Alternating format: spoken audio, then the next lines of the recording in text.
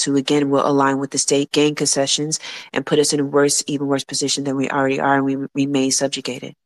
So revolution is a very careful process, and it's a very arduous process, but we have to be willing to take on that work if we really about that liberation. Um, sorry, Choose, did you say you wanted to say something, and then we'll go back to Brief Scoop? Yeah, um, I did want to say something, but there are some new people on the stage, so I want to let them talk first. So, Brief Scoop, if you can talk for like a couple seconds, well, not a couple seconds, but you know, as long as you need to, and then we'll get to the new speakers. Thank you for that. Uh, I, I, just wanted to clarify a couple of things. Um, so, at um, the the the the whole awful thing that I was describing, um, so the people that were actually standing up for the assaulter were the um, COINTELPRO. So they were standing up for this person, and they were doing it, of course, to cause chaos. So it wasn't that um, it, it wasn't the it wasn't the feeling that uh, that the person so that so they were defending the assaulter. A. Secondly, and we found out later on that they were cops, so it made complete sense. Um, so so I always believed the women who came up and and um, and accused the man, uh, but he was being protected by COINTELPRO and they were making sure that he stayed within the movement. And then they used this whole thing about restorative justice to turn it upside down, saying we can't kick this man out because that you know what we need is restorative justice. And I remember thinking, what? Um, so that so so it wasn't restorative justice for the assaulters. By the way, that wasn't even discussed, right? The, the discussion was you know that we can't kick this man out this person that's been accused. So it was complete COINTELPRO behavior you know to to cause complete chaos. And and so that's what i was describing just to be very clear. No um, thank you because i miss i did misunderstand you. So i'm so glad you got to explain that better. And yes thank you yes so so so that was that um, and then uh, oh gosh i think i forgot the the, the last point um, but those were, I think, two really important. Th- oh, the last one was, and yes, back then I used to think that. Remember, I'm an immigrant in the U.S., so I didn't know like American racism takes a minute to sink in, right? When you're not from here. So I had bought into this whole idea that um, you know before you come here, you really do believe that racism ended in 1964 when the Civil Rights Bill was signed. That's the America has good PR that's the impression they give you when you're overseas. And so when I came here, it took a minute for it to sink in that, holy shit, the radicals are freaking fascists. The liberals are fascists. The right wingers are fascists. Like they're all fascists of varying degrees. I did not know this. And so back then, this is t- over 10 years ago, yes, I was still operating around saltine Ritz boxes um, before I knew Please. before I knew that there was no salvaging, uh, you know, this crowd, it's a recorded space. So, you know, I, I don't care too much for um, some store brands. So I'm being generic. But um, yeah, so I, I no, I no longer deal with the saltines. You know, um, I don't care for Ritz as a brand. Um, yeah. so that was no. it. Thank you. No, Bree Scoop, I'm really glad you grabbed the mic. Really, all the points you brought up, it was very important. No real talk. Thank you. You're killing me with the saltines. I love that shit. You know I do. but uh and I'll just, can I just also add that I think you did say before that the people who was defending the assaulter ended up being the police. But just for the sake of the space, it's important to remember that some people work like feds without being on the payroll.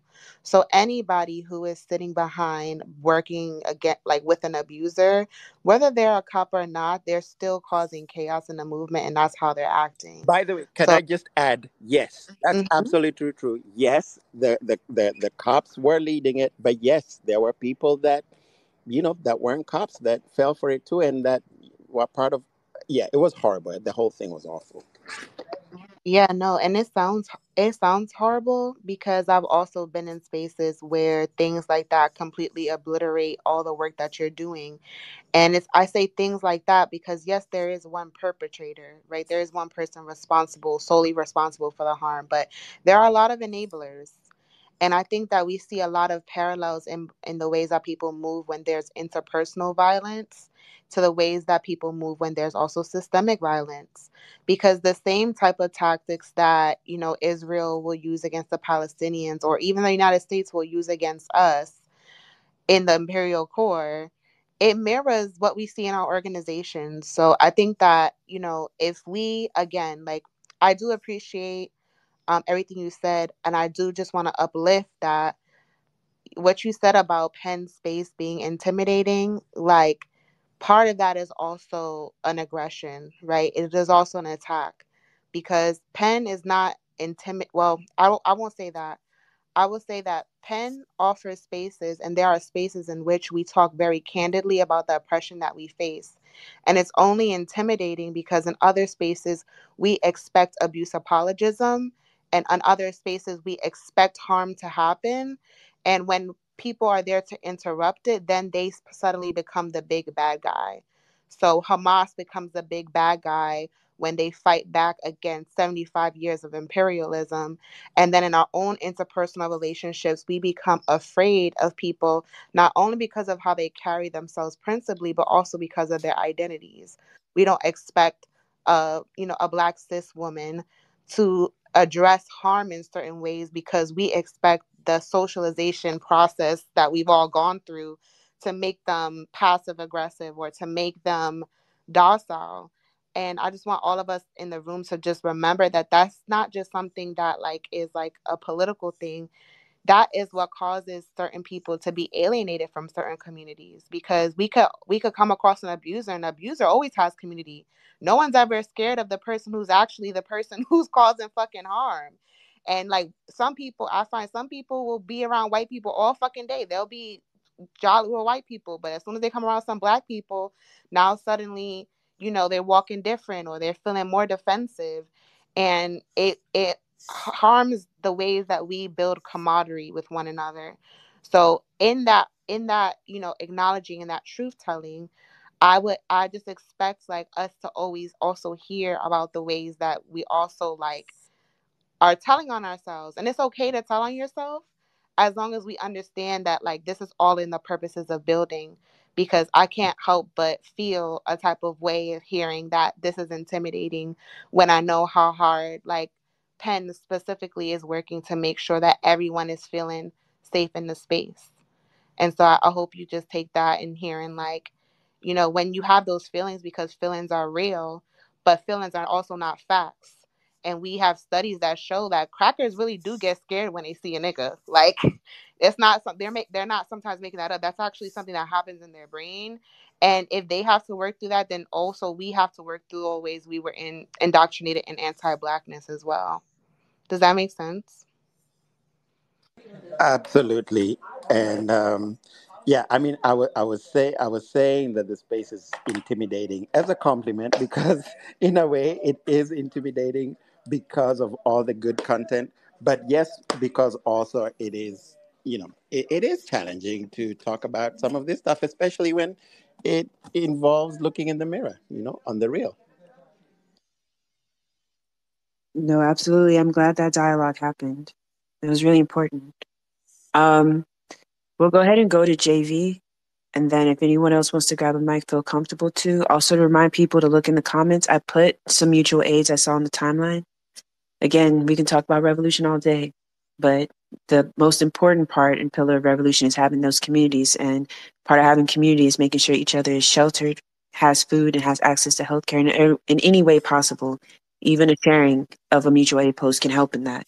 So I encourage people to practice that. They're in the comments as well as the Jumbotron. The PDF is also up there. Share with as many people as possible, especially with the assault on books and the access to books becoming slimmer and slimmer. That too is an act that we need to start practicing and giving information and make sure it's accessible. I forgot to say in the beginning of this space that you can also turn on the captions on this space, and that helps as well. So I'll I'll do a better job at that and also mentioning that in the beginning. Uh, JV, you wanted to add to the conversation? Go ahead. Yes, hi. Um, peace of the room.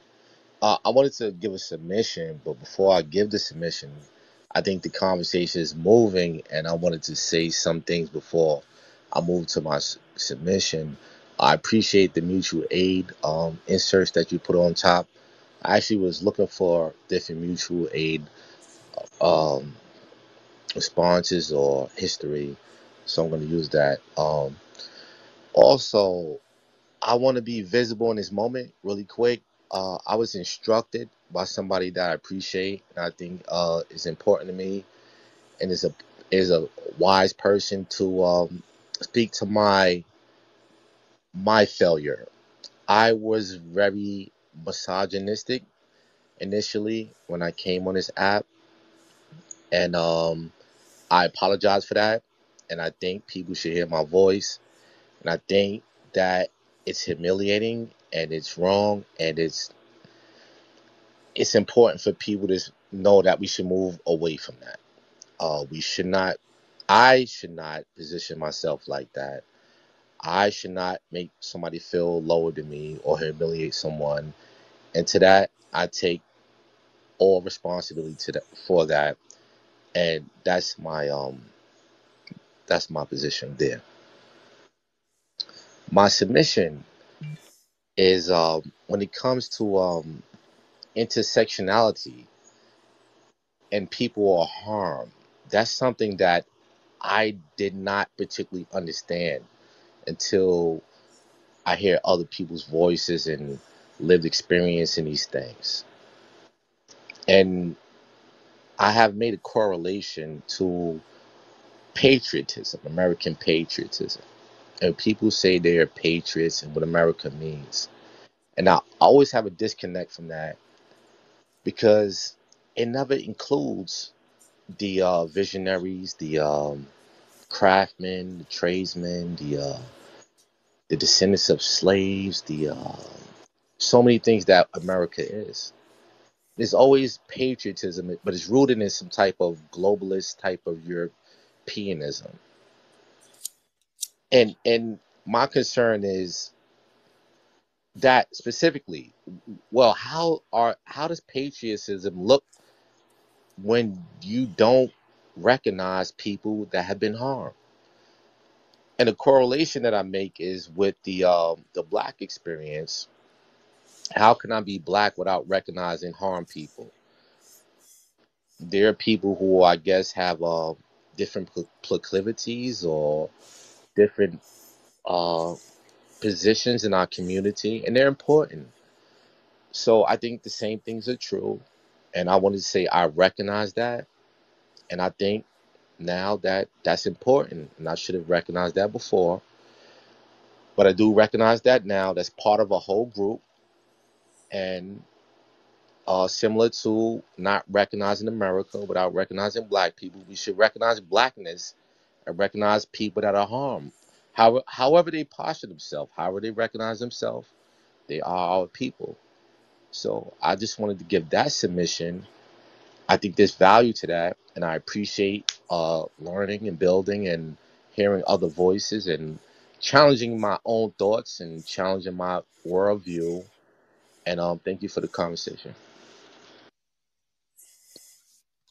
So yeah, I want to address the uh, the point about patriotism, and it's interesting, right? Because so I'm going to draw it to some of the act since we're online. I'm going to use examples of what we've some of us have witnessed online. And that is the whole ejection of patriotism into the reparations movement by outside forces. And we would have to know and understand these forces and why it's necessary to combat it. My thing when someone asks me about patriotism is why would anyone want to be patriotic to a white settler colonial state?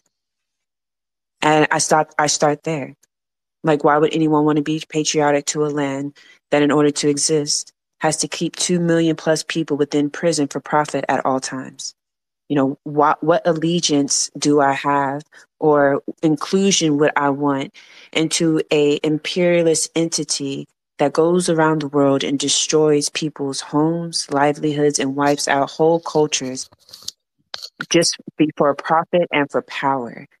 I don't want to see my people included in that. I don't want a place within that system. I don't want um, any kind of campaign effort to say, "Hey, your patriotism or your your country needs to include me." No, we're on the outside, and I'm glad we are, but we need to destroy it. Like this is, if, if we understand our position within this system and what we're really living under, is that we will start looking at, at America as again a white settler colonial state. I have no patriotic leaning towards it. It must be destroyed at all costs because I want to be free and I want everyone to be free. So that's important because as again I talked about reparations being used as a Trojan horse by a group called PFAIR that has put a lot of money into creating certain people to get platforms, to be catapulted, to start co-opting movements and talking points. A lot of times these people have wrapped themselves in the American flag and I've encouraged people to identify with that fucking rag. And again, what you're identifying with can't be repurposed. You have to look at it for the reality that it is. When you wrap yourself in that flag, you are wrapping yourself in imperialism, you're wrapping yourself in genocide. You're wrapping yourself in ecocide. You're wrapping yourself in a country that, as we speak, is trying to make ways and laws in which it is legal to reinstitute child slavery. You're you're you're wrapping yourself in something in a, a place that builds schools only to indoctrinate people and miseducate people so that they can continue to be cogs in the wheel and be exploited for their labor, and their children would be caused to the same fate onward and onward until there's nothing left. And I think again, as we have these conversations and we ask ourselves, why do we want to be patriotic?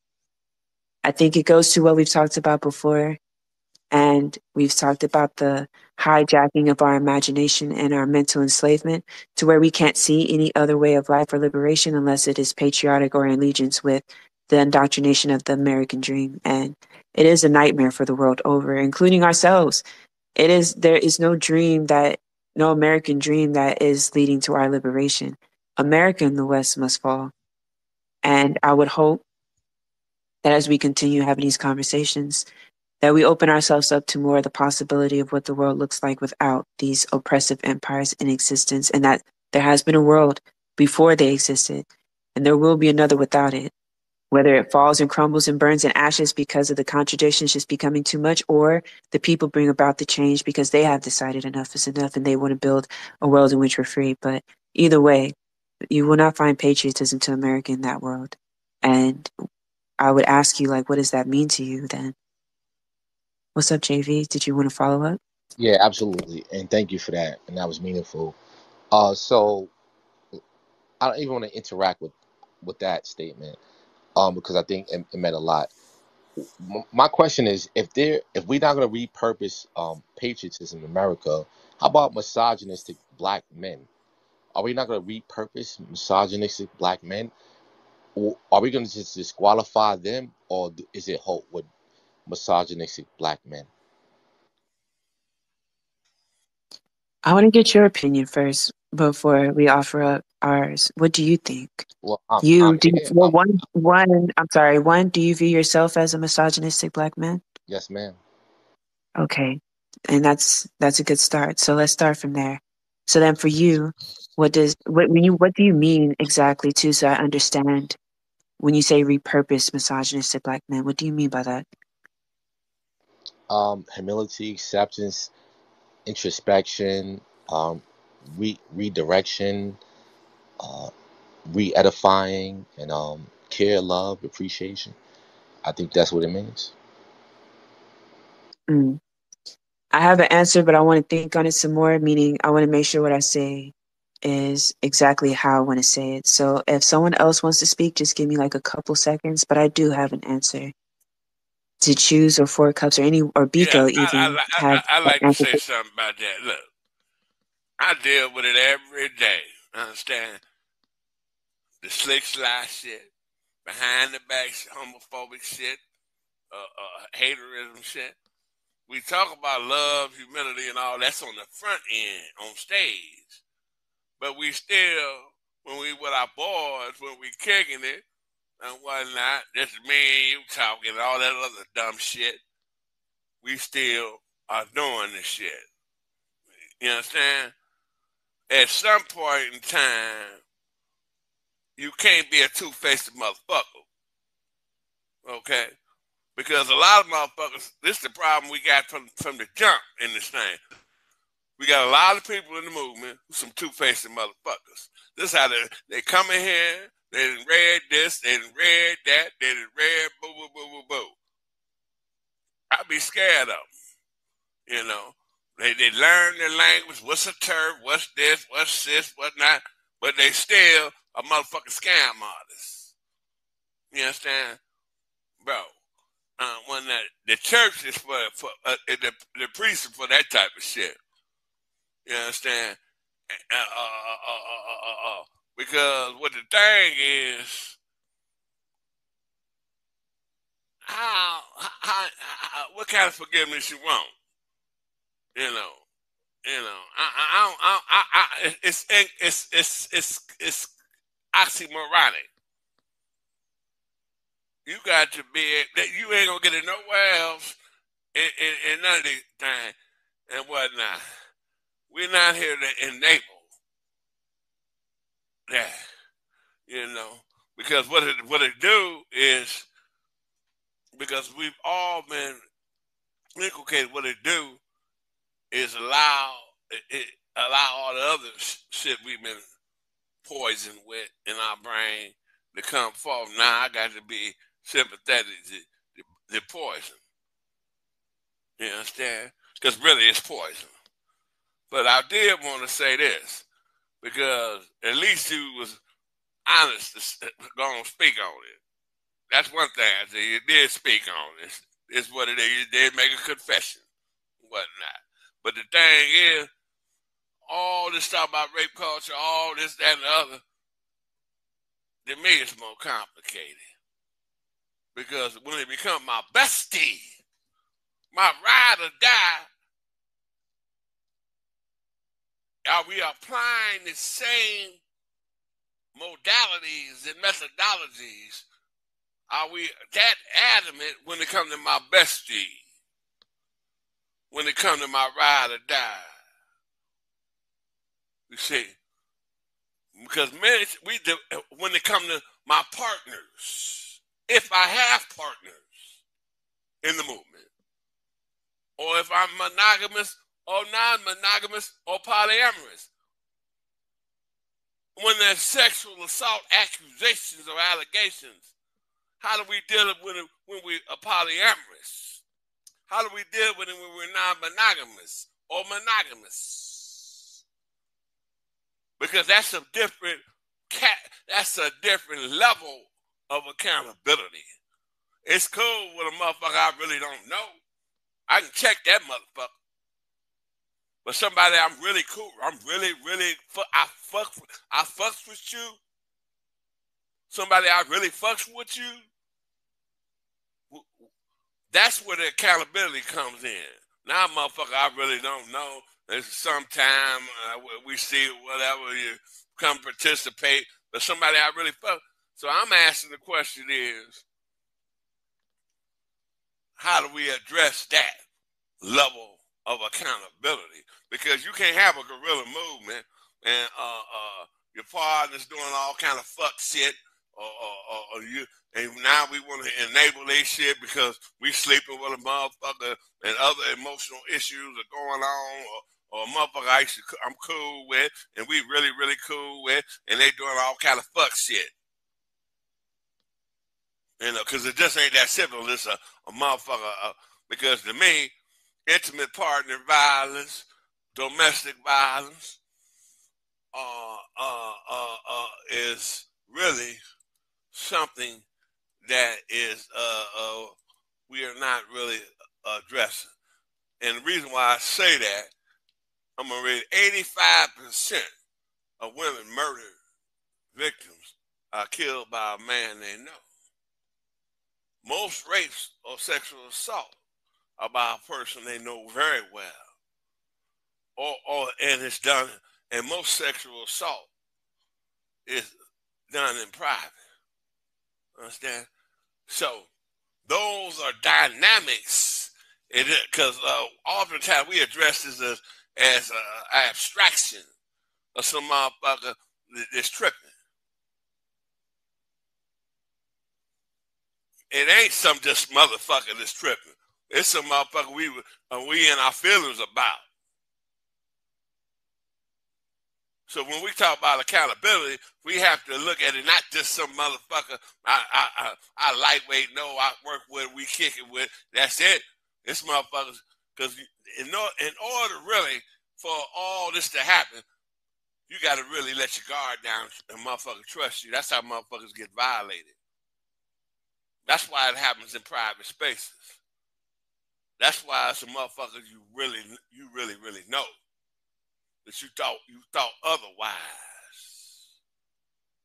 So that's a different type of accountability and a paradigm shift. So how do we get this paradigm shift in a guerrilla movement? Because you're operating in uh, uh, uh, uh close proximity.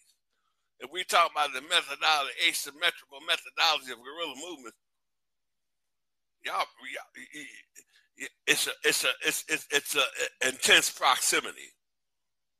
And when you have intense proximities, how do you deal with accountability then? Not just another motherfucker out here that's, that, that's there, but motherfuckers, I'm I, I fucks with her, my bestie. That's the question I want to put on the table.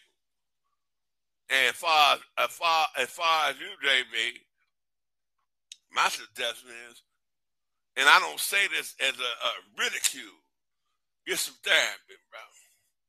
Get in a man's group, a domestic violence group, with a fem- with a feminist or, or queer coordinator.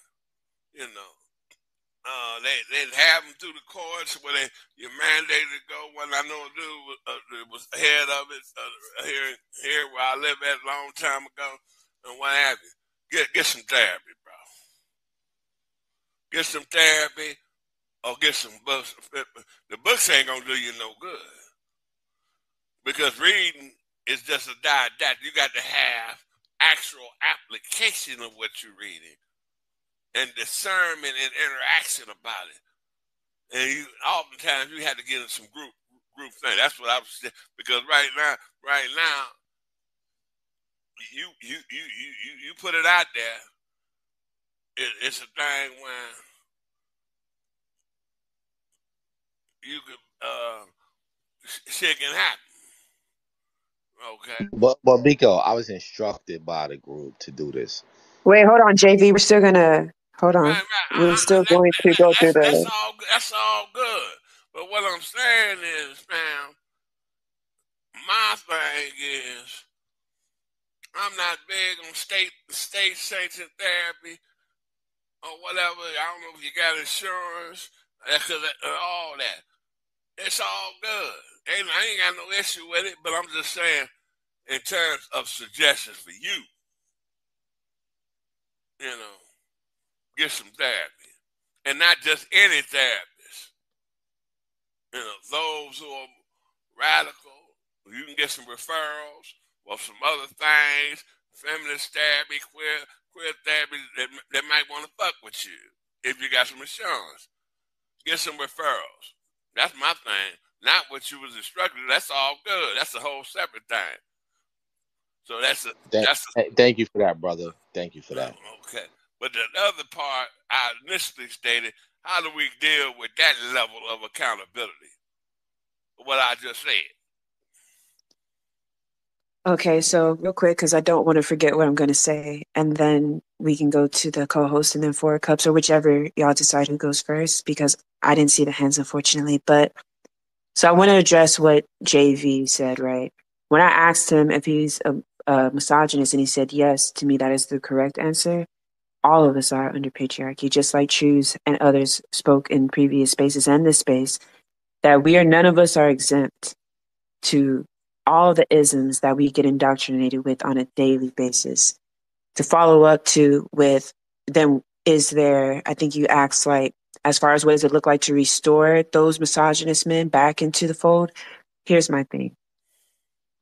At our current condition, right, where Biko named over 85% of people of women killed are killed by someone they know, as many people that you can talk to who work within groups will tell you that, and Brief Scoop pointed out too, where sexual assault is present within even the so called revolutionary orgs. I analyze those conditions as being that my strategy is not to have one that's centered on restoring misogynists, but to protect the people and the victims that they prey upon. So, what does that look like? If you're someone who you understand that you are indoctrinated with misogyny, that you have acted in acts that are misogynist, that you hold these views where you don't see people who are not men as human beings, right? That they're not worth listening to, that their rights are secondary or non non existent or worth fighting for at all. Well, my thing is that you do not need to be in an organization. When I say you, this isn't all directed at you. This is all of us. So I don't want you to take it as this, we're like all coming at JV. But it includes you, but it includes us all. So if we say like, yo, I'm for the liberation of, of black women and other uh, gender marginalized people, that doesn't just come with words and rhetoric. It ha- you have to build a strategy in your life and what that looks like to be a direct action. So what I mean by that is let's use the app again for an example, right? The people in here who would be identified as cis men who are inoculated with misogyny, who are around other misogynists, if you're someone who says, you know what, I want to be free, I want to be liberated, I want to take part in a revolutionary process that liberates the globe, the world over, you're going to have to start confronting other misogynists and other men, not only online, but in your group. Avoiding them does nothing. Because as we see, those people get community. They get attention because of the sensationalism that they'll say things that you don't necessarily want to be seen as saying, but you don't have a problem with being saying against a person that you don't like who's of a marginalized gender. So again, a lot of the times where we talk about that people we get to a point where people will admit that they're misogynist, but then do no work towards destroying the patriarchy or confronting the misogynist men around them. It means like now when you go get a haircut, you need to bring up the topic of patriarchy and say, niggas, what are we doing to destroy this shit so we can get free? And have that real ass conversation. Yeah, that's hard, right? That's now like, oh shit, these niggas gonna look at me different. Well, then are you really dedicated to the to revolution and liberation or are you not? It looks totally different. It means talking to your dad and your uncles and your cousins and being like, yeah, nigga, we playing spades, but let's talk about some real shit. Like, why is it that we let the, that predator that we all know is the funny uncle keep coming to the cookouts? We need to jump in and eliminate that nigga. And then we need to all, as a family, be accountable for allowing the, our other family members to be preyed upon. And it becomes a daily process. Now you start looking at things that are in your direct circle. That is not just about, oh, I'll go hold a sign at a protest, or when I get a mic in a space, I'll say the right thing, or when I go to the organization meetings, I can now use the right rhetoric. No, it becomes now you can actually do things. You have to do things within your your immediate circle as well as anywhere in which you engage. So if you engage on an app, you know there's misogynist shit happening. You know there's violent misogyny happening. On, guess what? You got to get involved you're going to have to say something, whether you know the victim or not, because then you will start looking at those people who engage in the violent isms that we named as actual counter revolutionaries that threaten your freedom as well. And so they have to get, they have to go. I say when you start developing that mind and that framework, that's when you start seeing the change. And then again, that's when then you can become the, begin in the process of also setting your own self free and be able to open up to a community. But until then, the community does not owe a, re- a restoration process to misogynists, not at all. Start eliminating some of these other niggas that make it very dangerous to practice that type of community. And then after the after it's safe, after we created the conditions and when now it's safe to start talking about that, then we can do that. But currently right now, that's not where we're at. The victims are too many and the safe spaces for violent predators is way too many and too frequent and the amount of people who are willing to be silent or act like they don't see anything outnumber the people who are actually willing and are doing something about it. So that would be my response. And choose, I think four was first, but I'm not sure. Um, y'all, y'all can decide which one goes next. What about my other question? We'll address it afterwards. Uh, I'm gonna let the other speakers go. I remember it, but we'll address it afterwards, Biko. We got you. Nah, she was first.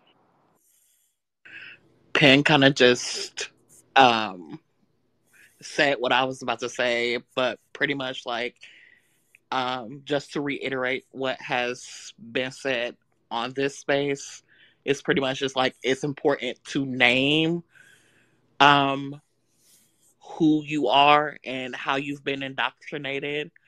Um, but it's also important to do the work necessary to make sure that you are not continuing to perpetuate these things and also to um make sure that you're not like like pretty much like ask yourself like what am i doing to deprogram myself? Like how am i showing up in ways that are um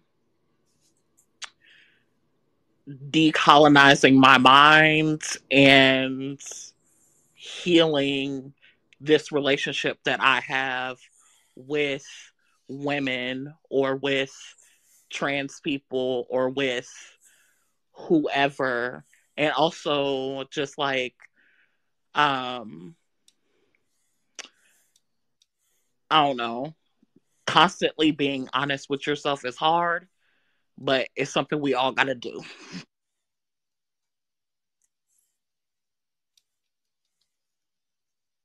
No, absolutely. Thank you. Oh, go ahead, Choose. Yeah. And I also just want to, like, I think name an important part of accountability is you kind of have to sit with people say to you for a little minute before you start asking more questions. And I say this as somebody who has also had to face accountability because I'm not perfect. I'm not even a good person. And people who I'm in community with have had to name all the ways that I'm fucked up to me before. And because I love them and because they love me, they had to tell me about myself. And because I love them, I don't put them in a situation in which they have to do more labor to now tell me the ways to go to make sure that I'm not going to hurt them again. That's not fair because they already have to deal with the fact that I hurt them. So how could I sit in their face and then be like, okay, like now what do I need to do? Sometimes what you need to do when you're harmful to somebody is sometimes you need to leave them alone. And sometimes you just need to ask them like what they need from you. Not to make you back in their life or to make them trust you again, just because people need things after you hurt them. And i especially see it as something that we need to work on is you know a lot of times when people say you know this is something that's wrong instead of taking that time we'll then ask them for more labor on top of the emotional labor that they have to do to heal from what was happened. So while i can understand the inclination to be like okay well what do i do now part of liberation is taking your own agency back as a person. And I'm actually not helping you if I allow you to then, you know, you want your agency from the state, right? You want to be away from the United States and away from this long standing genocide that they've been committing against Black people. But then you want to hand it to somebody else and then have them tell you what to do. But part of liberation is you being able to make decisions on your own that lead to your own liberation. And so I think, especially when we call out patriarchy or misogyny in these movements, a lot of the brunt is put on Black mages. Um, and that's Black people with marginalized genders, right? And I don't think that that's fair. I don't think that that's fair to ask us, you know, what do we do with the misogynist? Because we don't have to ask y'all what to do with the homophobes because y'all adapt them up and y'all chill with them. We don't have to ask y'all what y'all do with the transphobes because y'all know what to do. Y'all chill with them. y'all adapt them up. But suddenly, when we're talking about women, cis women, trans women, mar- like non-binary people, trans men, suddenly nobody knows what to do. But everybody knew how to be community with the abusers, and that don't make sense to me. It don't make sense to me, and I feel like it's disingenuous. And I actually think it's a continuation of the pre-existing inclination to always want to be in an extractive relationship with people who are more marginalized with, than you. What I mean by extractive is you know that you can get this type of care and nurturing from specific type of people. That's why you ask them. But you don't ask that of people who traditionally you wouldn't go and ask them for. And I think that I don't think it's actually helpful to people to to give them that labor and this could be my own shortcoming as a human or whatever, but I actually don't think that is beneficial. And I'm saying this for the room in general.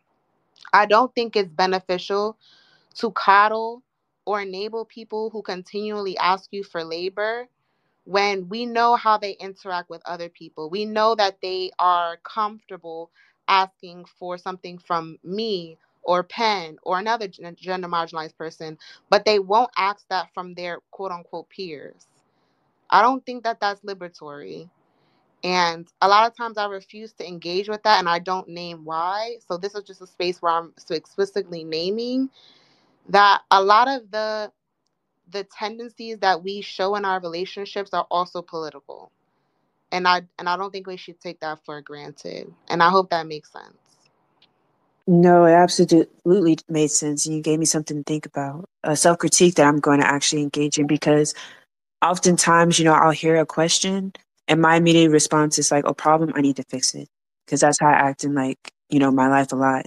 I'll see a problem in the community. I need to create a survivor program. Someone asks me a question. I need to do the work. But I need to reassess and do some reflection about what happens when I'm always showing up for people in ways that could be harmful for everybody else. Will then that person go and expect other people, other black lesbians, since I am a lesbian, to do that same work for them to be like, okay, well, Pen, she's always willing to answer questions. Well, then you got to do the same or you're not as principled. And then so I could see how exactly what you're saying needed to be said. And I want to thank you for saying it. And you gave me something to think about for real. Appreciate it. to be honest, and you know, between you and I, the reason why I feel that a lot of times is because I feel very protective of you. And I feel very protective of the ways that people come to you for that type of labor and i just want to make sure that that's always reciprocal. Like when people come on the stage are we thanking Pen? Are we sh- like showing love in the inbox? I actually don't know because Pen don't tell me these things. So y'all probably are but i want to just remind y'all like you know like how are we also sh- anyway um let me be quiet but you know i fuck with you so no, and I appreciate it because also what you demonstrated too in this space is that for me, it's easier to stick up for other people. And sometimes we forget that we'll hear someone that sounds like they know what they're talking about or someone who's intelligent or whatever, right? And we forget like we got to look out for them too. So I love that you like will notice something and will speak up because it gives other permission to do the same and to be like, look, I got to make sure that community is not just like, oh, this person already knows and reads a lot of uh, theories, so therefore I don't need to say anything. If they didn't say anything, it must be right. And it's like, no, I miss a lot of stuff, especially if it's directed towards me. I miss it all the time. That's a huge blind spot. I catch it when everyone else is in danger, and I and I'm in fight mode, but oftentimes I forget about myself. So I really, really appreciate you for speaking up because it's not always easy, but I do admire the way that you do so effortlessly. Thank you very much. And again, I have a lot of self reflection to do. Um, I would, I think the hands were uh, Shango, who's who's back up, who's new, and then we'll go back to JV. So Shango, what's up? So once again, um, I'm happily in the position of echoing and extending all of like the great things that was that was said before me. Um, so I wanted to say um, really quickly that pens and uh, choosers and uh, four cups and even uh, the speaker uh, JV reminds us uh, underscores the importance that if the revolution starts in our communities wherever we show up uh, to be liberation minded right? Um, uh, at all times. And uh, in the spaces where we occupy, in the barbershops, the hair salons, wherever, our, uh, the community, right? Among uh, our coworkers, uh, our friends, our families, and so on. Um, and to not be complicit. I think there are folks who will say, well, who might pat themselves on the back and say, well, I was well behaved. So they might be in the barbershop and they hear some misogynistic language or homophobic language or conversation um, or sitting at the table um, with their family or friends and they may not say anything. Um, they stay quiet and then they'll have the easy and the comfortable or even glamorous self-righteous recourse of saying well i i wasn't the one who said it. But I want to remind folks that inaction is also an action, right? And if you do not, it is your responsibility. You assume a responsibility in the way of if you say you're a revolutionist or you know you're uh, liberation minded, to intervene, to act as an intervention, and to speak up, uh, and to say something, to disrupt the narrative that is part of uh, white supremacy and capitalism, right? The classing of the of humanity into these separate groups and distinctive groups. Also, I'd like to remind folks that we often speak of ter- these things in terms of discrete entities, like the trans people over there, the women over there, the disabled folks over there, and so on. And they don't. We must be reminded uh, as we move towards or we move the conditions uh, begin to emerge that is revolutionary, that our liberation is a collective thing. That means our oppressions are all linked. None of us are discrete entities. So you may not be a woman, you may not be disabled, you may not be black, you may not be, et cetera, et cetera, et cetera, of all the classes, the class distinctions that are made to di- divide the working class, right? And humanity in general, so to fit them for exploitation fit them more properly for exploitation into these distinct groups. Um, you must see that we are collectively, our oppression and our liberation is linked. You will not gain liberation for yourself, whatever group you may be a part of, um, if we are not all free, if we are not all liberated.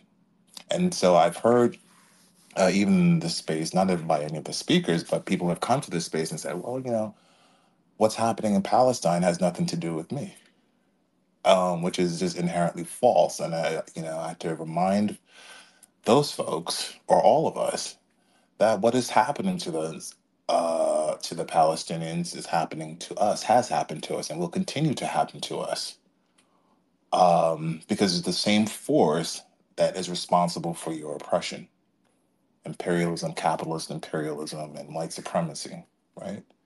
Which is the very um, product, uh, the, the Israeli quote unquote state, uh, is the product of that. And so, um, yeah, I just want to remind that, um, to put out that reminder, and that those are the thoughts that came to mind as each speaker was speaking that we can't think of ourselves as not, even though we may not identify as some other group, that we are separate ourselves from them and see their cause or their push for liberation as different or disconnected from our own. Uh, it is also another way to undermine all of the, the class structure because one of the things that makes capitalism uh, operate as smoothly as it does, as efficiently as it does, is that it's able to fracture and class um, people, racialize them, gender them, um, and so on, right? Other them in so many different ways.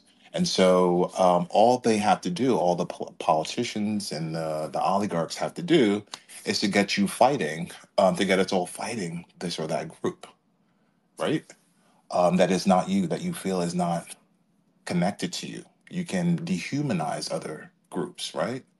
Because you don't see that we have a shared humanity and we have a shared struggle. Um, we all exist under um, uh, experience uh, different dimensions of the same struggle, of the same oppression.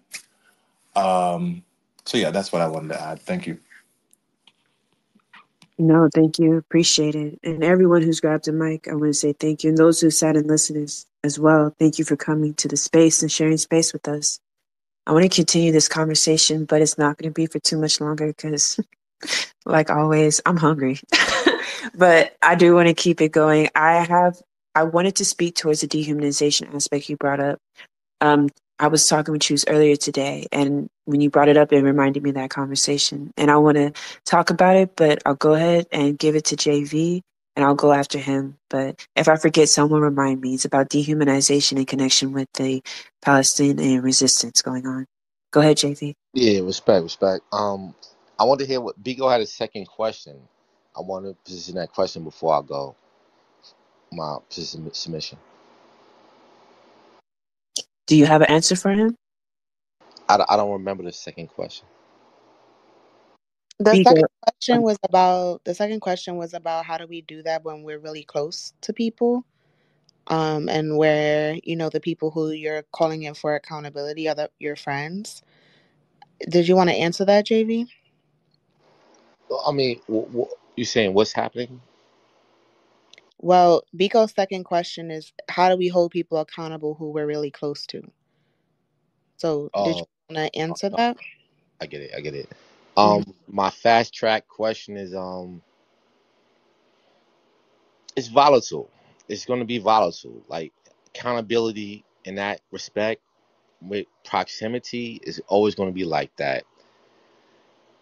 I really wish Biko would, would position himself, but um, I don't think there's a solution to that. Like, We're gonna fight. We're gonna fight each other. But I think the issue is we op- people op- opportunize our infighting for their own agenda, and that's my small answer. But I think he had a little bit more depth to his position. I I, I really want to know what he was saying, but yeah, we're gonna fight. That literally, that's we're in a fight right now. We're being very mature with it. We're being um we're being nice and we're being but we're fighting. So um that's that to that answer. So let me just get my submissions y'all to y'all go forward. Um my submission is that um I appreciate um liberation and the idea of liberation and how we should position ourselves with liberation. And I particularly think we have to like protect one another, right? We're here right now. If anybody else come here and say, "Hey, liberation looks like this," I, I don't really want to deal with that before we deal with what we dealing with. That's what I feel, and um, I don't want to hurt anybody. I don't want to be misogynistic. I don't want to be uh, xenophobe. I don't want to be any of those things. But I do want to protect this thing of ours. So that's how I feel. Y'all can beat me up later. Yeah, so I'll go right quick as far as I want to put a challenge to everyone in the space, but especially the cis men in the space. The question that Biko posed, I want y'all to ask yourself that and really wrestle with it. And don't let it go and just chalk it up to there's nothing you can do because there is something you have to do if we're talking about being liberated, right? So Biko's question was about accountability. If you want to get free and you want to see your people and everyone free, in what ways in your life and the people around you are you holding them accountable for in the ways in which they harm people, especially people of a marginalized gender? What does that look like? So if your boy, if your people around you are being misogynistic in any way, harassing women, uh, being violent towards them, or or like uh, what do you call it, normalizing a lot of things that should not be normalized, that again comes at the expense of gender marginalized people. In what ways are you holding them accountable? And I don't want this to be like in the hypothetical. We all know a misogynist. we all know a homophobe. We all know a transphobe. They are all around us because that is have been made and embedded in us to be something normal and accepted, and that communities are supposed to like turn a blind eye to. So the reason why I say I'm going to put that as a call to action, and well, not a call to action, but a question that I want all of y'all to wrestle with and answer, is because again, these aren't just about differing of opinions. it's not that when you have a misogynist president, I'm president, when you have a misogyn, misogynist present, there we go, you have someone who has already infiltrated your movement. And you have to think in those terms. You have someone that is splitting your community. So addressing that misogyny, addressing that violence and that harm is not what divides our community. So when we say something like, oh, you know, sometimes um, the state uses us holding those people accountable to further divide us, I would argue the opposite. Bree Scoop brought up a very good example that I misunderstood at first, but I'm glad he clarified so that I can get the full scope of what happened. Is that there the police in that organization actually protected the sexual assaulter because they have direct state in having those reactionaries presence within groups because they will always cause fractures and disunity. So look at your misogyny, as something that you need to confront and fix, but not only within yourself, but again, in your community and the people around you. That's your immediate circle, as well as people that you engage with in, online or that just exist online. You cross your timeline and you see some foul shit. You need to say something and let it be practiced because if you're too scared to say something online, I guarantee you you're not doing the work in real life because that's even scarier because you're not behind a phone, you're not behind a profile, you're actually face to face with that person and you have to deal with them in community. So it boils down to like, what are you really ready to fight for? And accountability isn't about like infighting. It's not. It is a process of, again, practicing not only community, but making sure we build something sustainable that can actually liberate us. We can't get liberated creating safe spaces for misogynists and transphobes and homophobes. Absolutely not. What we do create is safe spaces for fascists and fascism to continue. That's something we can't have. And that's when we become reactionary. So I wanted to say that. And then, so that was to towards Biko's question. So basically, JV, what you had brought up about labor, and then asking those people who are directly harmed by, you know, misogynists and people who are transphobic and homophobic to then give you the solution is still of the same mind frame of again causing harm. Take your autonomy back and say, hey, you know what? Okay, I no longer want to beat this. What do I need to do? And I guarantee you, if you look around you, you will come up with many things you need to address and again address within yourself, but also addressing the people you engage with as well, and any people that you witness engaging in those things. The way you grab a mic in the space asking for the solution, you can grab a mic in the spaces that are toxic and say, y'all niggas need to straighten up and hold them accountable and go at their necks. Like that needs to be done. Amplifying the voices that are calling it out. But make sure making sure they're not standing alone either and not being comfortable with allowing those people to exist without being held accountable because it's not you saying it directly, which I think Shango also brought up. That we get comfortable in that. And again, people like to be misogynist by proxy. Like, yeah, they'll have a person who's violently has rhetoric rhetoric is so violent and vile, but people will sit in the listener sections and and give them numbers and space uh, engagement, but will not grab a mic and call it out but we'll grab a mic and ask that we provide that labor for you. That's what Choose is challenging us on. So listen to that, play this space back, and sit with it. And not every response needs a response. Sometimes when someone offers you something, it does better to, yes, acknowledge, like we all need to do, and acknowledge the way we internalize these things and perpetuate these things, but then sit down with it and let that, that feeling sink in and be like, all right, so now that I understand what I need to do, or I'm learning what I need to do, I need to also put that in action and change the world around me. And it starts with the people closest to you. Um, I was gonna say something that I was like, remind me later. Do y'all remember? Dehumanization. Thank you. so the dehumanization process. So I was me and Choose were talking earlier, and the point came up about seeing the bodies of mutilated children during the Palestinian resistance against the white settler colonial state of Israel, and how that becomes normalized and how we become desensitized to it. And the reason why, Shango, when you were speaking and talking about dehumanization, that popped up is because one thing that's going to have an effect on us building like true, uh, a true revolutionary process of liberation is the way in which every day we normalize, we're normalized to not see destruction as what it is and not be like, you know, disgusted by it.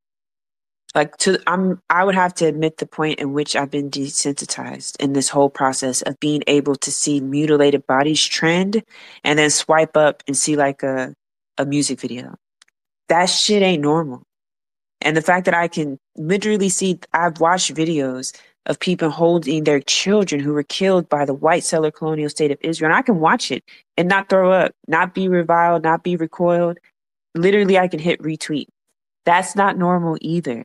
It's getting to the point that, and I think we really need to have conversations in and admit that we can even see bodies of children with their head in one bag and their feet in another and go on and have a conversation like that shit is normal they are they are desensitizing us in real time to the point where we can't even recognize our own humanity anymore, but also the human the, in, to recognize the humanity in others, and that also to me weighs on whether we um, align with certain conflicts and resistance struggles or not, why we can easily say loudly on an open app that the Palestinian struggle has nothing to do with me and not feel sick to our stomachs Im- immediately after saying that or ignore what's going on in the Congo, in the Sudan, and in other places on the continent or tell them that their struggles must wait until one is done.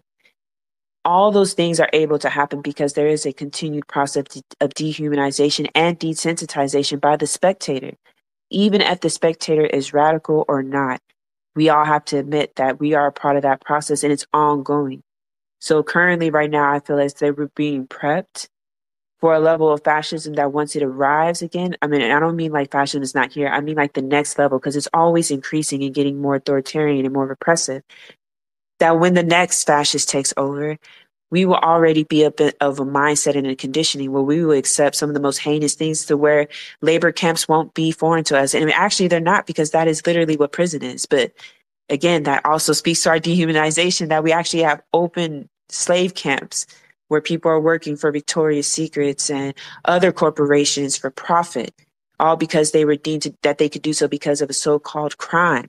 Again, because of poverty that's imposed upon us to keep us as an exploited class, but that we can get up and go to work the next day and everything is fine. These things weigh heavy on my mind because, again, in order to build a, re- a revolution and a resistance struggle, I would need the people to see, and I would need to see that the level to which we've been dehumanized and what is a strategy to reclaim our humanity under those conditions so that we can see each other worth fighting for to where the utterance or the dismissal of any liberation struggle won't even come to come out of our mouths or without direct blowback from any and everybody. I just wanted to say that before i forgot but um, i'm going to ask y'all i, I want to give the space I think I should give it 20 more minutes because I want y'all to continue talking about whatever the book or even what someone said brings to mind. I don't want to cut it short because again, these type of materials, I have made the mistake in the past and I actually owe an apology to those that have engaged in these reading spaces. I have read material without commentary and without discussion, and that's irresponsible. I don't even engage in work like that in real life anytime I have material or reading groups, we always engage in vigorous discussion because that's part of the political education. Moving forward, I will make sure I will operate online as I do in real life in a way of approaching this as a political education thing in which we engage with the material and engage in discussion. So I want to leave time for it. I'm going to go on mute and grab a snack because you're going to hear my stomach growling, but I'll I'll leave the space open for another 20 minutes. And again, thank everyone for participating. So choose if you can look out for me for a while while I grab something to eat. The space can keep going. Her. You so generous. You so generous, Pen. Um, while Pen is eating, um, we're gonna continue, but I saw JV your hands up. Yeah. Um, truly, I'm saying, can we deal with our own liberation before we liberate the world? Because we, I feel like this whole big project of liberating the world, it comes with different narratives, different cultural insertions, and like, what does it look like? Is it similar? Is it different? So they want to eat pie, and we want to eat pumpkin pie. It, it, it's getting really unclear to me what liberation looks like on a world stage. There are things going on in the world that don't even make sense to us. Like if we look at what people like in the world and it's important for them, we would be like, "Ew, that's crazy. I don't want to do that. That's not. I don't want to. That's not nice." So I'm I'm concerned about this liberate this world liberation project without liberating ourselves first and then saying okay we're liberated what are you bringing to this it's exchange it's like it's like interaction.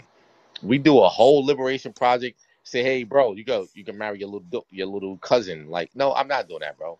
I'm cool. No we about to have a fight. They do that and they're doing that in america. They literally lowering lowering my point. for child marriage. that's not my point. But it is your point, right? Because you're gonna bring up stuff that other places do, and that those other places may or may not do though. But you know who does do that? America. So when and the problem the problem with even the the positioning of that is we're not going to pretend like the American empire hasn't touched every other part of the world. Our fight is actually everyone else's fight because the American empire has spread so far that the same mechanisms that oppressed us when we was in Ferguson, it was the Palestinians telling us how to deal with the tear gas. Why? Because when they took pictures of the canisters, it was the same motherfucking canisters. So there's no way to have this conversation in a serious way with if we're actually being historical, right? If we're being historical, the fact of the matter is the American empire needs to die, not only for us to be free, but for also many other people around the world to be free. So that question, again, we need to do the work because if we don't understand that the same tear gas canisters was in Ferguson that they use in Palestine, and we don't understand those connections, if we don't understand that NYPD goes to train in Israel, then it's then it's very hard to have a conversation that's rooted in facts. Because the fact is, if other people around the world are liberated, so are we. And if we liberate ourselves, other people are also liberated. And anybody who told you anything different is a fucking op.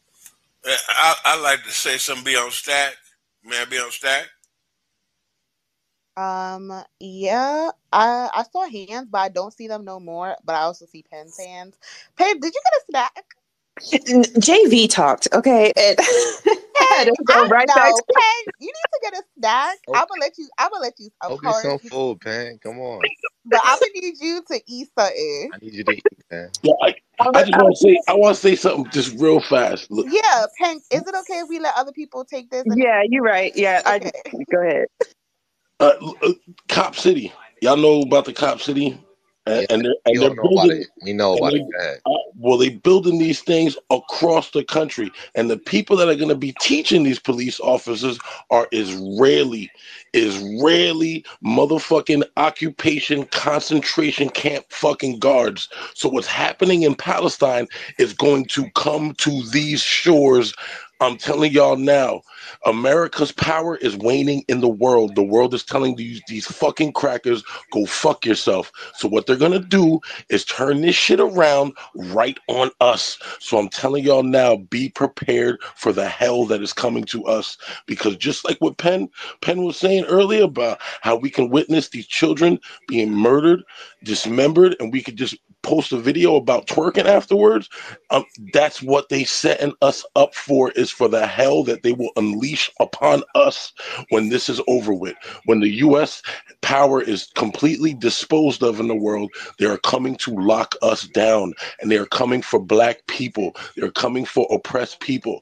So we have to prepare. And I've been trying to tell people this for the longest. And I'm so happy that the space is open and y'all been and y'all touched on stuff that I, you know, I, I had to speak because I wasn't gonna say nothing at first because I'm tired, but it's the it's the truth. I'm, I've been trying to warn people. They're doing this for a reason. They're showing us all this for a reason because they're gonna they're gonna unleash it on us. And, and that's that's that's what I've been moved to say. So love y'all, Pen, I love you, choose violence, that, love you y'all. throw that in the, in the chat? The um Israelis, um, Pen, um, the city. Can you throw that in the chat, please? Cop City. What you mean? Throw it in the chat? You mean uh uh? What you talking about? Throw it in the chat. No, so what's gonna happen, JV, real quick? You're gonna you're gonna Google the same internet you're using to be in this space. You're going to Google dead ass because that is not something hard to find. And no, Damien, you're not going to do no labor, put in it and finding it, making a post and put it in the chat because that's something again that's not hard to find. I want you to Google uh, cops getting trained by the IDF, and you will find a plethora of articles. And you're going to do that work for yourself because you want to be liberated real quick. Because I'm heating up my food, so I'm doing it. But just to oh, oh Not my not the white white power fist. Oh my god. I'm sorry. I'm sorry. I didn't Wait, no, no, Pen, Pen. That's not fair. Hold on, Hold on. JV. Hold on, JV. I'm not done yet. I'm not. I'm not done. It is fair. It is very fair because you have internet access. And so, yes, you can Google and find out, like, okay, he gave me the keywords, gave me the breadcrumbs, graciously shared with me. So I guess what I'm going to do, the work for myself, and I'm going to do research. Just as we researched this reactionary, JV, if you come up here, mic, one more time, JV, I let me finish. about Cop City. I Okay, I'm good. I was involved with it. All right. So you don't have to be involved. I literally just told you to Google. So I removed him from speakers because he kept coming off the mic because he'll ask someone to do labor, but when someone says to do for self, there's excuses. I wasn't involved in it. No one asked you to be. They said Google. That's very simple to do if you really wanted to know. But it seemed more like if you if Damien didn't produce the post, if he didn't do the labor after he heard his brother tell him he's fucking tired, he was like, all right, yeah, all that tired stuff, do some more work. And if you can't do it, then we don't need to listen. No, I'm not gonna just let that happen. So sorry, Damien. I'm glad you brought up Cop City. It's absolutely accurate. And for people in the space, if you want to know more, not only can you Google, but you can also go on the search icon on Twitter and put in Cop, Cop City IDF or put in police, US police and IDF, and plenty of posts and resources and materials will come up to you. Real quick to answer his question. So, a lot of us are going to hear this isolation rhetoric happen more and more. And again, they use the uh, reparations movement, co opted it to bring in this isolation rhetoric. And what it is, is that they'll say, like, y'all have no ties to any movement going on globally that black Americans, what happening to you in America is you need to get free first. Now, they'll say this while saying the rhetoric of we're not free until we're all free. So when someone says that and then follows it up, let's do ours first. I don't think you understand what that the saying meant. Like literally the blueprint was already written saying we're not free until we're all free. Our struggles are interconnected. That's just what it is because white supremacy is a global power domination. Imperialism is global. The Western empire seeks to expand and continue to expand and dominate globally. So what happens is when you have someone, and let's say in the piers over in California, shutting down shipments going from uh, from America to another place, guess where that affects? That affects every corporation that has stock or profit within that boat that needs to get to point A to point B in order for them to make money. Corporations are not just based in America. That now the not now, but the way the corporate class works, they have hands and enterprise all across the world. So you hit them everywhere. It's just like how they ask for a boycott. McDonald's doesn't just exist here in America, it exists globally. Uh, the fruit companies that sit there and kill revolutionaries and people who are fighting for environmental environmental justice, they get killed by these same corporations. So when people say, "Hey, you and your block boycott this company," that's because you're actually impacting the resistance movements that are going on against those companies who are acting in that way overseas. Because again, they go overseas to exploit people as well as exploit people here at home. So there is no such thing as revolution in a in a in a, a vacuum or in a bubble to where you do something that is direct action and only impacts you and your immediate family. That's not how this shit works. Matter of fact, it can't work like that. Again, it's interconnected. And if you would do just a little bit of the work that you are demanding from other people, you would understand that why we're saying to go do it for yourself because you won't retain it. Because I know you've heard these talking points before because, again, not to pile on JV, but he asked the question. He has been in many of these reading spaces and we have covered this stuff extensively. So the people in the community has shown up for you. Now it's time to show up for yourself. And again, do the basic work. That's what I thought it was strange. He's been in the space before. Can you hear me? Many times. I'm talking about, J- yep, JV. I'm talking about mhm. JV. He was in the last one. We was reading about the Marion Barry. Okay. Now he, uh, I, I know a lot of people do that bullshit. They always they, they don't want they want you to hand them some shit and all this other bullshit, and they did. But what what they doing is they want the information to weaponize and throw the shit back in your face. All that shit about uh, this and that about overseas and in and out, that's some ADOS bullshit on, on, on the low. That's some ADOS bullshit. That's what it is. You know, you know, because ADOS got various different iterations. You know, that basically what it's saying is you can be a blood sucking motherfucker and fuck the motherfuckers over overseas and Caribbean, Latin America, and Africa. Fuck them. The shit here is more important. That's what you're really saying. You understand? And that and then Biko, why, right? So why is it that they want you to believe in that rhetoric and say, fuck them overseas, you have a stake in this white supremacist empire? Is because they know once there is agitation here in the belly of the beast, that is the beginning of the end. It is necessary. What did George Jackson teach us, y'all?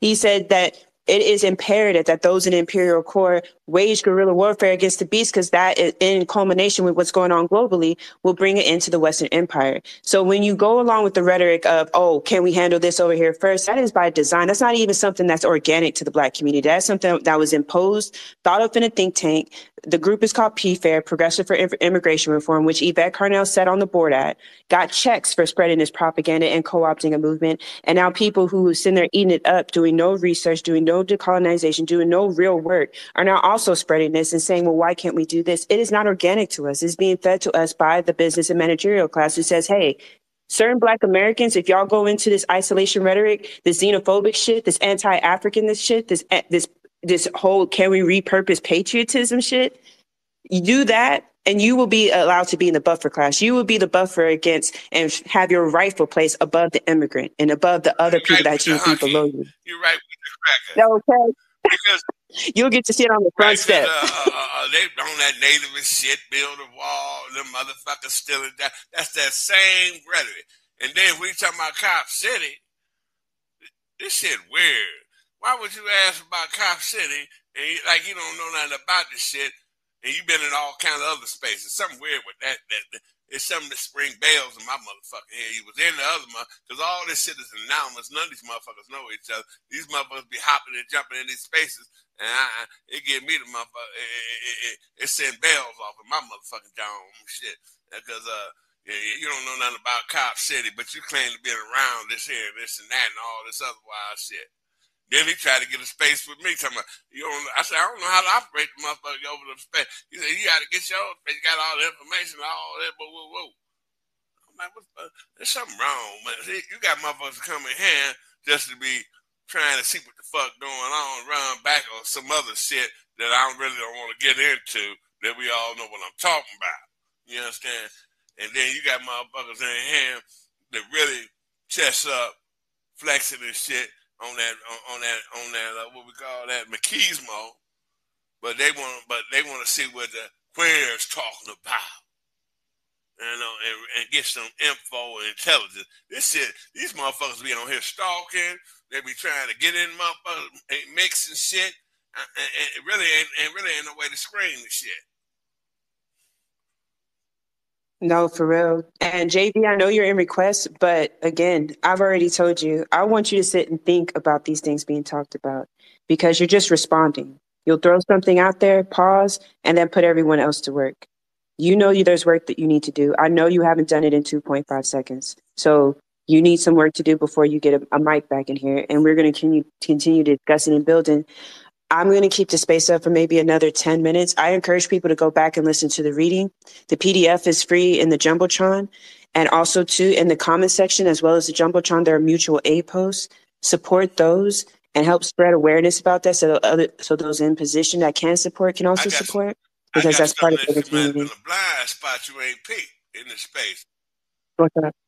Most of the dudes want to talk about imperialism, uh, dialectical materialism, then they come with all the academic semantics.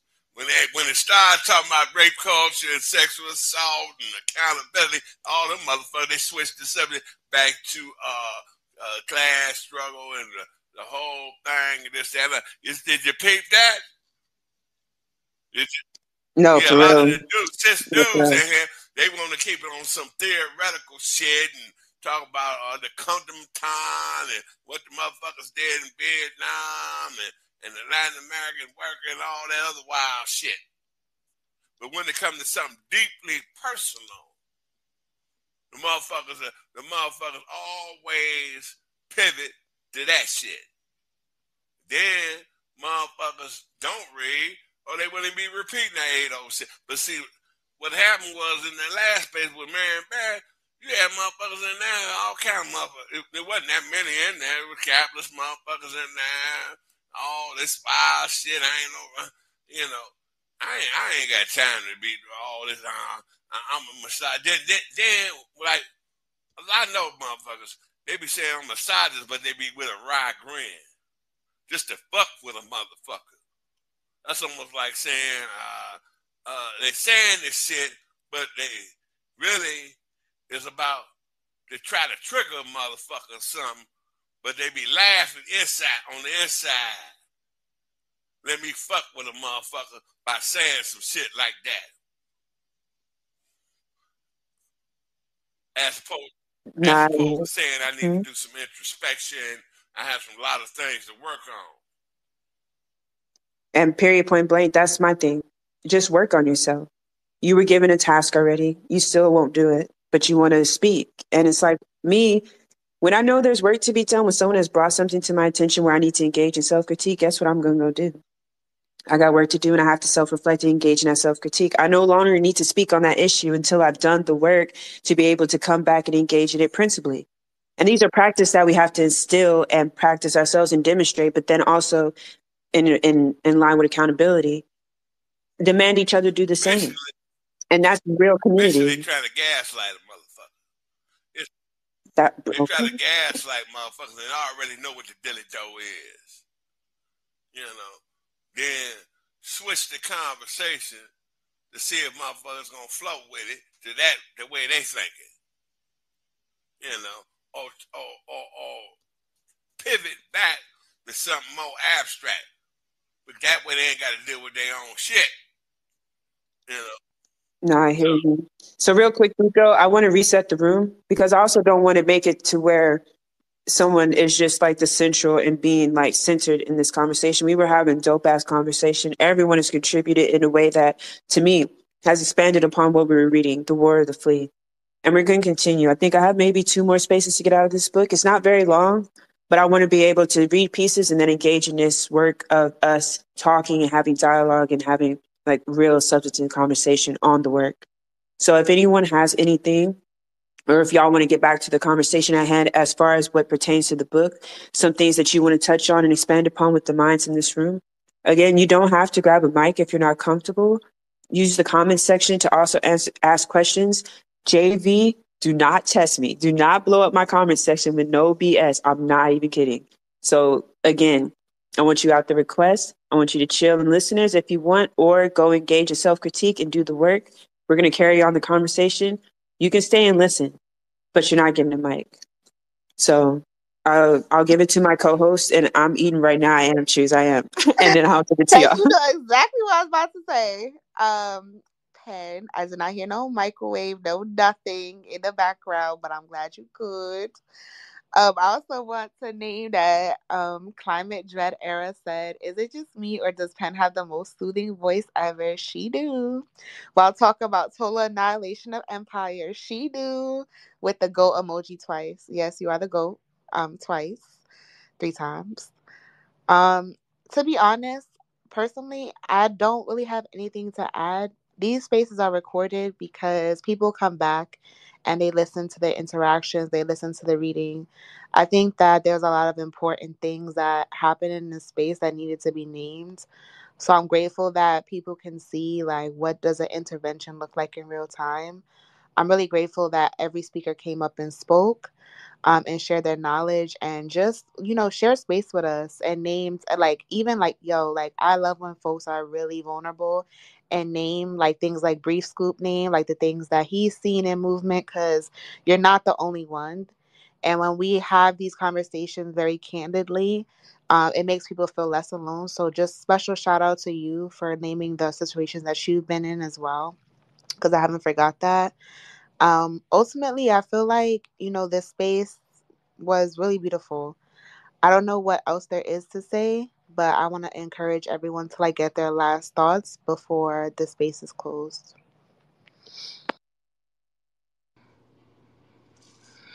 Can I just say thank you, Pen, for this space? Thank you, um, everybody who has spoken. Um, thank you for um, y'all's words and y'all's thoughts. Um, I love these spaces. This is this is nice. Like this is community. Um, to be able to discuss these things and learn together and um I don't know. I'm just very appreciative and thankful. Um yeah. No, thank y'all. It seems like oh, Damon, go ahead. Sorry. Uh, well, I, you know, so I, same thing. Thank you. You know, what I'm saying for these spaces and everything. But like, Biko was touching on was touching on that topic because you know one motherfucker can ruin a whole movement. You know what I'm saying? And it only takes that one subversive ass shit to make everything collapse. So we have to call it out. It has to be called out. You know, a lot of times people don't want to be that person. You know what I'm saying? To be like, oh, this motherfucker fucking up. You know what I'm saying? But steel sharpens steel. We have to do that.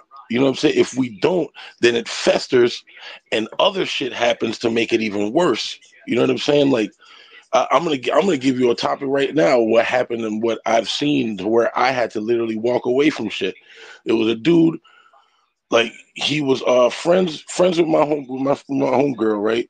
But he started being like extras. You know what I'm saying? Like she would, you know, she would let him come in and chill but then he would stay too long and she's like you know and she's non-confrontational so she's like trying to give him like little hints to like you know leave my house and he would be like nah you know she's like i'm going to sleep and he'd be like oh i'm gonna stay on your couch so she approached us and she was like look i got this dude that you know i, I tried to be cool with him and I, i'm trying to like give him innuendos to like leave and stuff like that but he's pushing himself on me and like i don't feel comfortable so we had to approach him to be like yo you need to relax you know what I'm saying? You need to chill out and, you know, learn learn to know when, you know, time is enough and, you know, and stay and stay away from it pretty much. Comes to another thing where we go we go to another action helping the Cayuga and this motherfucker shows up again, right? Now he starts dating a 16 year old. You know what I mean? So I blew the shit up. I'm like, nah, this ain't happening. You know what I'm saying? This motherfucker has a wifey on the res, a kid, and he's dating a 16 year old, like you're a fucking pedophile. So I called him out on it. You know what I'm saying? And they kicked him out of that space.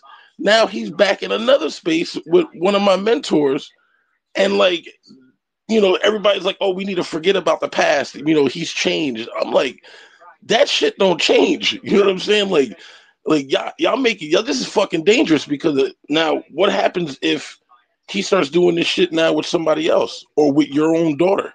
You know what I mean? Like th- this shit has to be purged out, and I had to walk away. Like I literally had to walk away from this because people are not realizing the danger that's involved with somebody like this. You know what I'm saying? And and it has to be called out. You know, I, it, it, you know, it hurts my soul to have to walk away from people that I love because they they're letting in straight up agents that you know what I'm saying, dangerous people. But it, it has to be called out. You know what I'm saying? And four cups, she she she touched on that topic. Pen touched on it. Choose Biko, all y'all, and it's the truth. It has to be called out. And if and if it doesn't change, then you need to walk away to protect yourself. You know what I'm saying? At any time, because uh, you know this is not what we're trying to do. We're trying to build each other up. We're trying to we're trying to have community, and you can't have elements like this inside the community, or it's going to destroy shit. So you know that's that's my that's my two cents. Love y'all. I want everybody to be safe. Also prepare, start training, get people together, you know, learn survival skills. If you got a weapon, you know I'm saying, start using that shit, learn how to use it properly, you know, because the the collapse is coming. It's it's either gonna come by the end of this year or next year. You know what I mean? I, and I feel that for real. Like so, you know, prepare. That's that's my last message.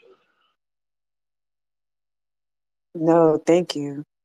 And real quick, because I just don't want to forget that, you know, what y'all named about calling things out, like how Choose demonstrated when she heard something and she was like, wait, let's sit and talk about this, what just happened, how important things like that is, right? Because we all have blind spots, including me. So y'all will be in the space and we'll be reading revolutionary text, theory, and expanding on things, and I will still miss something. Never hesitate to either be in the comments, my DMs, or grab a mic if you feel comfortable and call it out. If I give out misinformation, check it. To me, that's an ultimate act of love and community because one thing I hate is being wrong. And what I mean by that is I hate someone knowing that I'm wrong and no one tells me and I'm just walking around here just loud and wrong. Nah, don't have me out here like that. And I won't do that to you. So I want us to keep engaging in that and not be afraid. And then also too, when people bring something to your attention and say, Hey, you know what? Think about this be self aware enough to say, let me pull back and let me actually think about it. Sometimes we want to respond because we want the image of ourselves to be pristine. We want people to look at us a certain way and not see us as fallible, but that's not real. That's an illusion. And we can't operate on that in any sustainable way, in any way that uh, builds a strategy toward liberation. So I want to thank also to the people who grabbed the mic when JV asked about that and just called it out and said, this is bullshit. Nah, enough and was very real. And I want to highlight that too, because oftentimes we dismiss certain deliveries if they're not done in a very nice, polite way. We we focus too much on decorum and like, oh, you know, be nice or you're gonna run them away. And it's like, no. If someone is harmful, you have every right to address that harm. And if that person is not willing to hear the critique unless it comes in cotton candy and bubble gums, well, then that person just doesn't want to hear the critique. And then that they're, they're demonstrating that they don't want accountability. And y'all already have my answer from previous spaces on how I deal, depending on the harm, how I deal with people like that. And I stand by it. So I want to thank people like Biko for just being you and saying how you said, holding your brothers accountable and saying, nah, man, do better. And you've been in other spaces, what is going on here? And then also Shango and Damien and other people, but also too the work of the co-hosts, both of them, Four Cups and Choose. It is not easy, like looking out for each other and then always saying something. That is labor too. And of course, you are also impacted by these systems that we're constantly challenging. So I want to thank y'all that even living in that intersection, you still show up and you show up for us and you teach us in, on how to practice community in real time and in these spaces. So thank you, Choose and Four Cups, very much. Thank you. Her. Um, before we go, can I just lift up that today our elder um Sekou Odinga passed and transitioned into the ancestral realm. Um, I would urge everyone to look up his contributions. He was serving time in jail for the liberation of Assata Shakur. Um, and when we think about people who are doing interruptions, that's who I really think about. Like, sure, this is a space, but there are people getting comrades free, and that's real as fuck. And I just want to, like, I guess, as a space ending, it wouldn't feel right to me if we didn't lift up that, you know, we lost somebody today, um, and lift up like how important he is, and even lift up like Assata, who's probably in like definitely in mourning right now, um, for her comrade. Like this is not a, like a game. You know, people spend their whole lives in mourning over comrades that they've lost and never got to see again. So I just wanted to lift him up before we end the space because it just it wouldn't feel right if we didn't. No, thank you.